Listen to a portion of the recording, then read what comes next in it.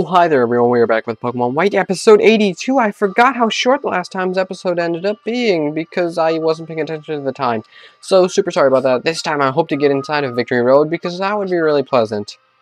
So, Fluffer's is at 45, so I'm wondering if I should switch out to somebody else. Probably Auburn, because he does need the experience.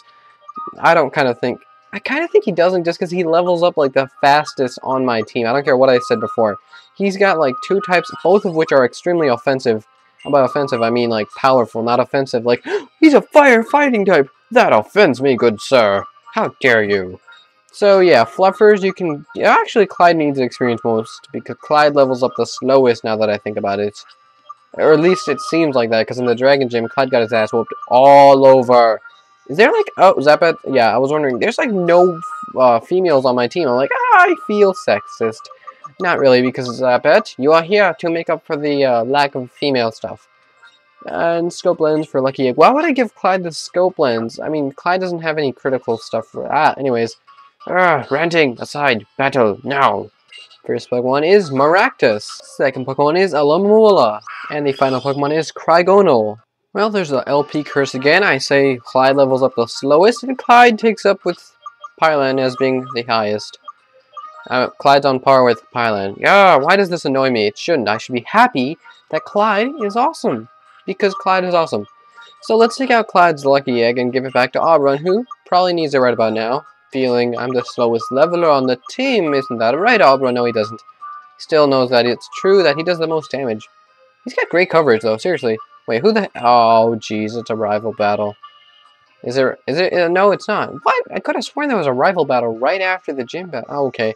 Anyways, who's talking? Uh, I, I can't see. I think it's Cheren. I'm going to hope it's Cheren. Drayden and Professor Juniper told me you're heading for the Pokemon League, right? Yeah. Okay, now it's Cheren. Since it's Alder, since it's the champion, I think it will be alright. Worst case scenario, you'll be battling Team Plasma's boss, N.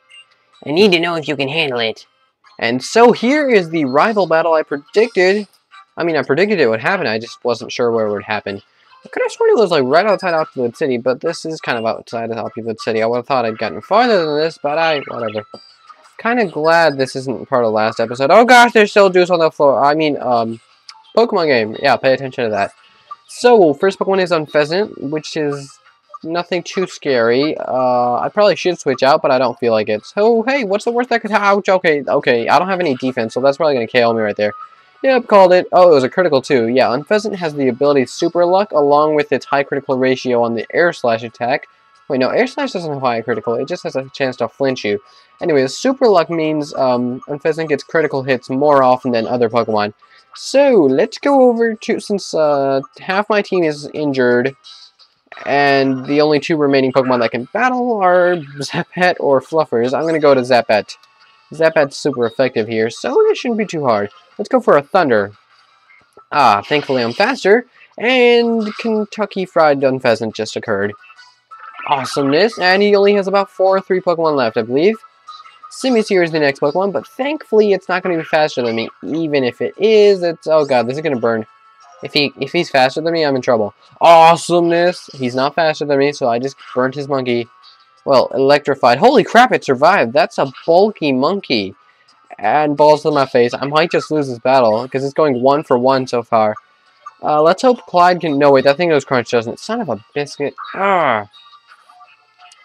I'm hungry. Damn it.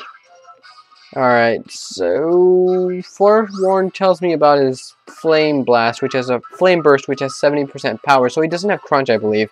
Because if he had Crunch, which has 80 power, it would probably warn me about that, because Forewarn tells you about the move with the highest power, but then again, does it calculate stab? Because if it calculates... I'm ranting here. Yeah. So, I just healed a little bit, and now we're going to finish off that monkey with a psychic attack. Yeah, that thing doesn't have crunch, apparently. And if it does, then Cheren's being a moron. Alrighty, and we're back to the same amount of HP we started with. Well, four less than it. Uh, actually, three less than it. Liepard, Dark-type Pokemon. Let's switch out to crap. We don't have much against it. Uh, Fluffers, it's up to you. I'm gonna sip my orange juice now. No, it's empty, damn it. Bring on the second orange juice. Yes, I always bring two orange juice boxes, I guess. Yeah, they are kind of box. Juice boxes, right. The bad part is I'm already halfway through. I mean, I'm already finished with one. So let's go with Takedown. Since Crunch would do half damage, because any move that you use against the same type of Pokemon is going to do half damage. So if you use a fire attack on a fire Pokemon, the fire Pokemon naturally resists fire because it's a master of fire. So it's not going to do as much damage as, you would expect. But if it's a fire steel type, then it would probably do normal damage because steel types are weak to it, fire types resist it, so that kind of cancels it out. But if it's Heatran, he's got an ability that eats fire, so it doesn't really do anything on Heatran. And renting aside, let's finish off this uh, Liepard. Awesome, great job, Fluffers. Sorry about the recoil damage. And now I believe it's one-on-one. -on -one. I'm not really sure. It used to display the Pokemon at the bottom. But anyways, let's sound out Pyland against his water type, who I believe should be a water fighting type because it learns fighting type attacks. But anyways, he sends out what I believe to be his last Pokemon. Uh, yeah, I think, yep, that's his last Pokemon. So let's just finish this off with a Petal Dance because I'm pretty sure he doesn't know any Ice Type attacks. And I'm faster than him, apparently. That's a big surprise there. And, ah, uh, yes, we defeated him. Goodbye, Cheren, and your giant water otter. Haha.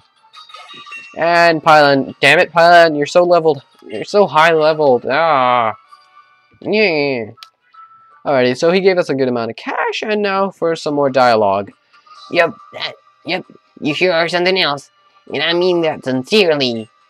Right, now I have to make your Pokemon healthy. Oh, sweet. That is awesome, because my team was injured.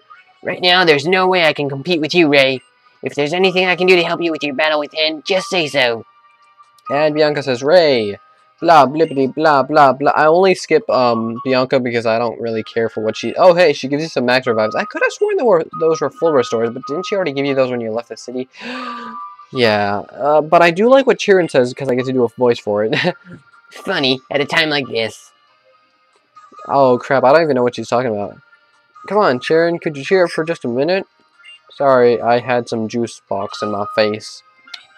Taking everything so seriously. Why would you... Why would you not be serious right before the fate of the world is about to be decided by a Pokemon battle at the hands of a 12-year-old and another... No, I'm not 12. I'm 10 in the game. A 10-year-old and another 10-year-old. Yeah, the fate of the world is in children's hands. Anyways, there are so many truths and ideals as there are Pokemon and people. That's probably true because the number of Pokemon's never gonna stop. I hope it doesn't end. Anyways, the most, uh, the more, ah, the most important thing is that we help each other out. That's why people in Pokemon work together. That's what I've been thinking of recently. Blah, blah, blah, blah, blah. There should be a skip button for, why is he going that way? Isn't he supposed to go to the Victory Road with me? Anyways, so, um, she's gonna try and cheer me up, but she fails. So let's go. Can I surf on this water? I cannot. That is all I was thinking of thinking of when these two were talking to me. Oh, hey, an item. Oh, no, wild Pokemon. Huh, I forgot to mention, there's actually Herdiers around this route, so if you haven't gotten your team fully made, you could get a level 33 Herdier and level it up a little bit and become a Stoutland, actually, with just one level up. Which actually doesn't make sense, because doesn't it become Stoutland at like 32 or something? Anyways, I think that's enough for one episode. So let's just call it a day, and I will rush into the... Actually, the gate's right there, so I could probably make it right now. Huh.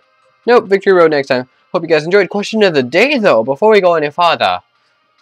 Is your team full by now? Like, if you're playing the game, or do you remember when you were playing the game? Is your team full right now, in this little point, right before you go into the Victory Road? Is your team full? Because my team is, like, over full, because I got two HM users who aren't even in my team, and then my full team is like six Pokemon.